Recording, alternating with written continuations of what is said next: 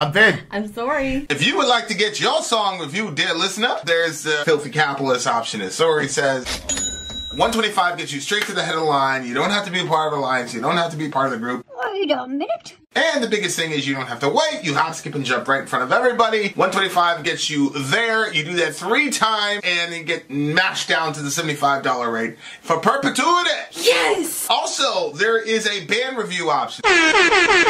So if you've got a band and you're trying to get your band some exposure, hit me up at instory at gmail.com and I'll show you the details about how to pull You that off. You can also jump on Patreon, and there is a option on the tiers to be able to get your band reviewed. Obviously, we can't lie to you, so we can't guarantee, Can't a positive you a review. positive review.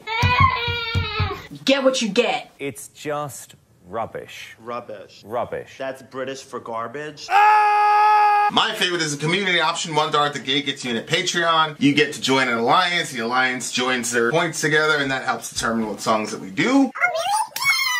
The alliances hang out on Discord. Message me on Patreon to get the link. And they do all kinds of other cool things. They do Minecraft, Dungeons and Dragons. Yeah, yeah. It's really a community within the community. Anybody can go in the village, facebook.com backslash Vin and Sori. There's 160 plus thousand people on the channel. What's cool about the Discord is that it offers a real opportunity for community connection, friendship, that type of thing. But, uh, And it's on Discord, so if you're not a Facebook person, it's for you. you start off at a dollar. Right. Plus you get exclusives. Sori and I are working on a song. So the first 15 seconds of that was on Patreon. Also, at $15 here and above, when we actually debut the video, they're going to be there live with us. There you are, dear listener. Buy our merch. Buy our merch indeed. A child shall lead them to buy our merch. Do me a favor, um, Amy, or whatever, Mo- or Perk. Um, ban Mr. Fausto Martinez. Just ban him. Get rid of them, please. Thank you very much. All right. We've got more coming. I think this is a song from the same record. Uh, and the same Yeah, concept Dawn of, album. the, Dawn of the Chosen. Dawn of the Chosen World by Catamenia. Yep. and I think this is from the same record. So maybe this is uh part two. Maybe. Thanks, Perk. Okay, guys, Let's see. here we go. Ooh. Yeah, it's the same one, right? Yeah, but it's it's a song seven, and we just did song two. Song two. Okay. Thanks, honey. Good. So I think it's a concept record, and if it is a concept record, maybe we'll get more insight into what's into what's going on Mm-hmm. in our uh, quest. Sounds good. Figure out what's going on with this band. Let's do it, guys. Here we go. What was the name of the song again? Um, the name of the song is "Dawn of the Chosen World." Dawn of the Chosen World. This should be interesting. Mm. from the album Eternal Winter's Prophecy. Let's go.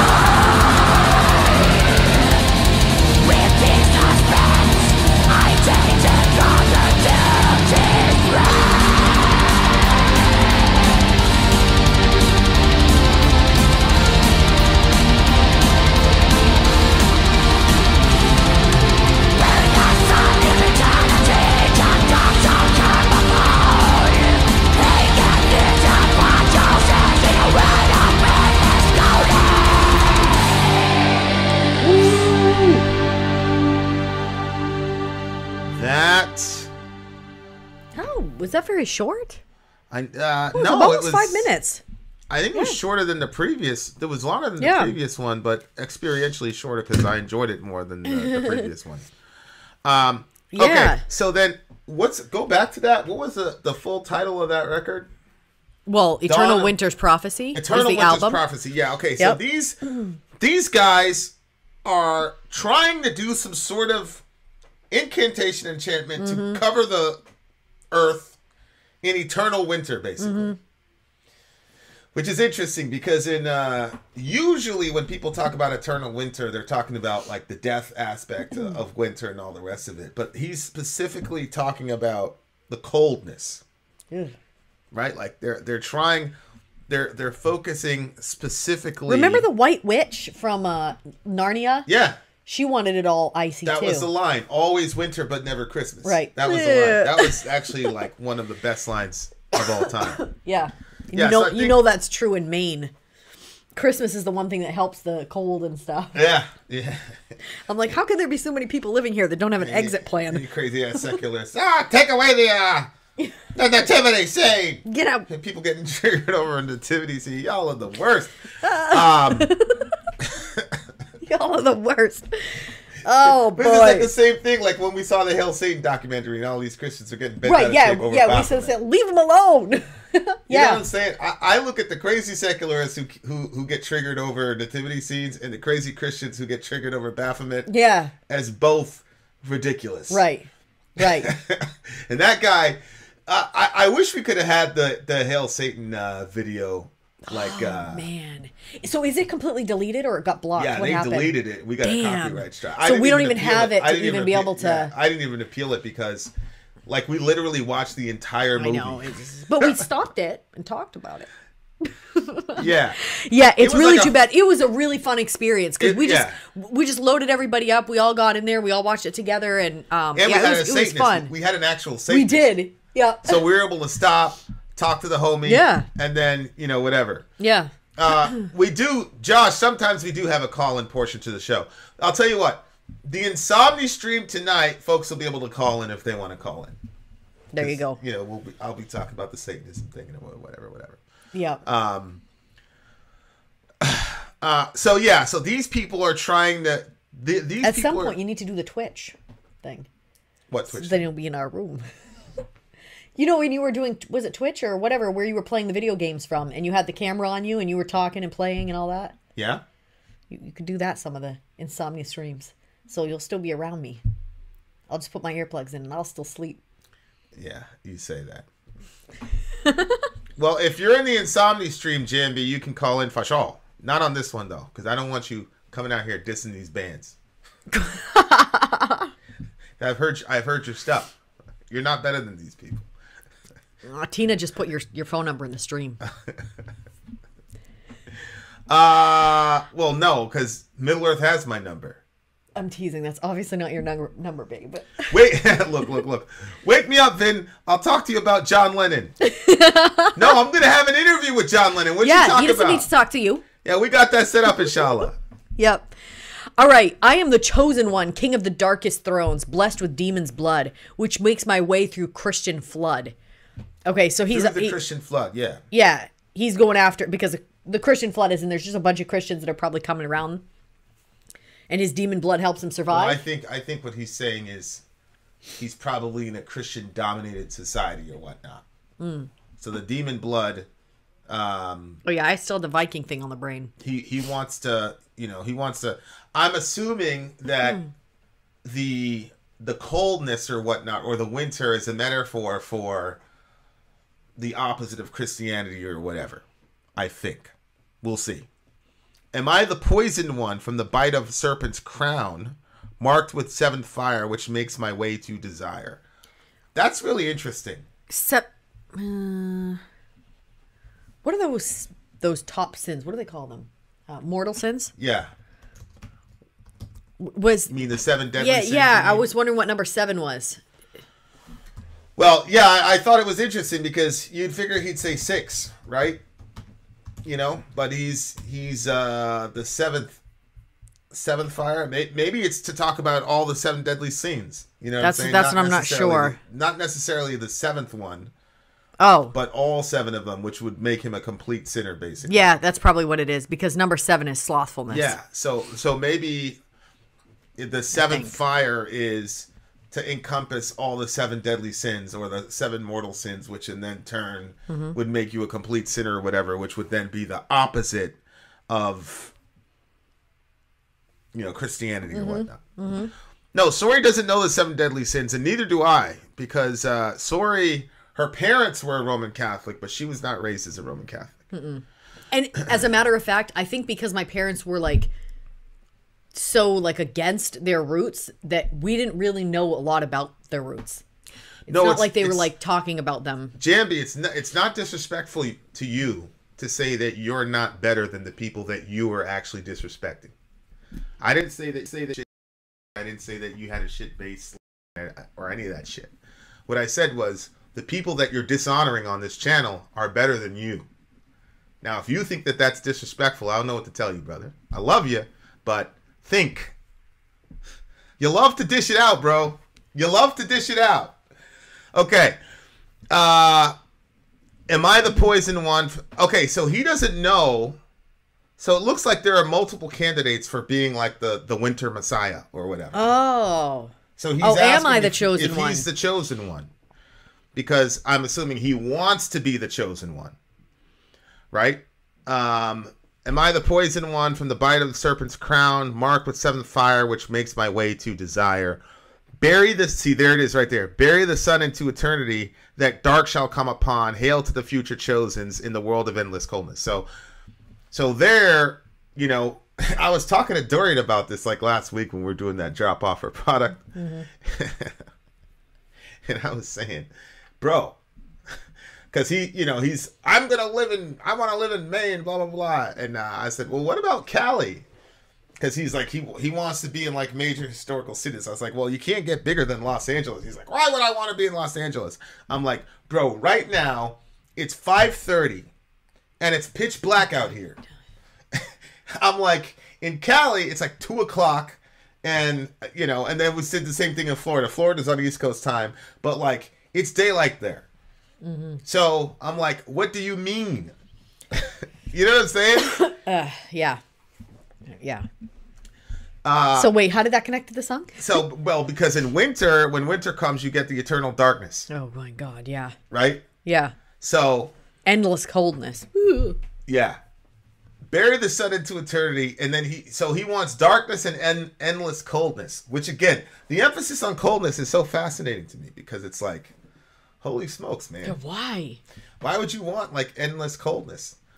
You know, I the only thing that I can surmise from that is that you are maybe you're depressed and you feel like you know what I mean? Like you know when you're in a particularly depressed phase and you don't want to be around like a party?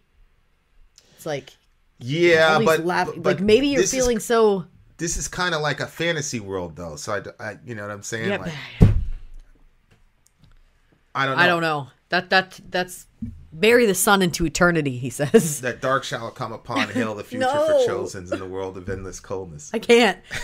I can't. To be honest with you, well, I have maybe, to maybe say they're talking about they're having a race of people who not only are acclimated to the coldness but like coldness is their thing that that's where they thrive I just I don't even understand. I don't understand that. yeah because that's you're born you're born as a you're born as a warm-blooded individual whatever so you acclimate to you know warm or tropical weather and you're part of the old race but what if there's like a a new race of people that thrive on the coldness but they only get to come out in the winter they only get like a little slice of time mm-hmm. where it's their time but they want all the time like I I understand it. Again, you have to you have to go into their universe, man. You see what I'm saying? Mm, yeah, but there's parts in our world where you can live like that if you want to. Don't wish that on the rest of us.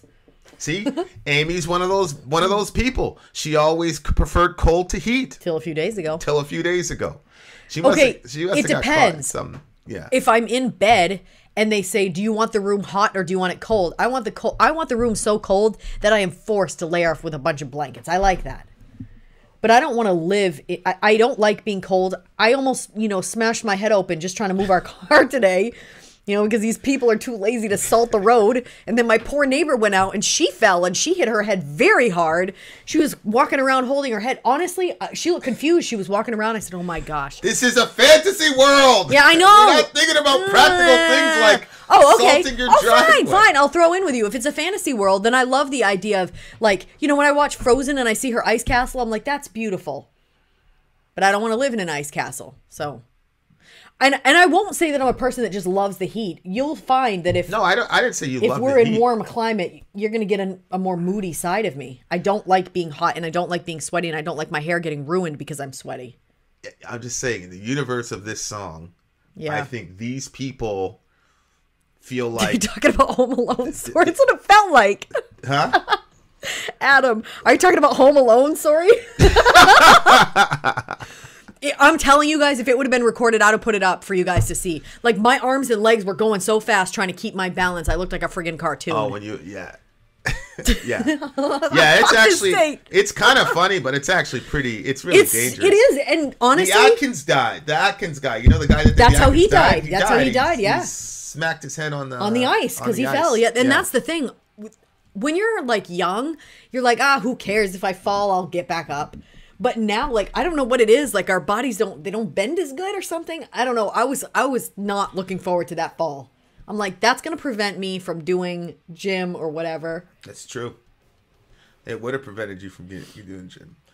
Um, bury the sun into eternity. Yeah. See, No, no. see, that's no. I, I mean, I, I've gone through. See, the thing is, if if you were on a, uh, let's say that you were unaffected by the cold, or let's say that you thrived in the cold, mm-hmm. like you know, like that perfect like spring type weather, mm-hmm. seventy eight degrees. Mm-hmm. You know, not too hot, not too cold, perfect, perfect spring weather, good running weather. Mm. You go out there, you see nature and all that shit, and your body's just like it's like that. When the spot. sun is warming the temperature, so it's getting hot, but there's still snowbanks, and the wind blows the cold from the snowbanks. Seduct. Right. That okay. right there. So, okay, okay. So what if the dead of winter had that effect on you physically and psychologically?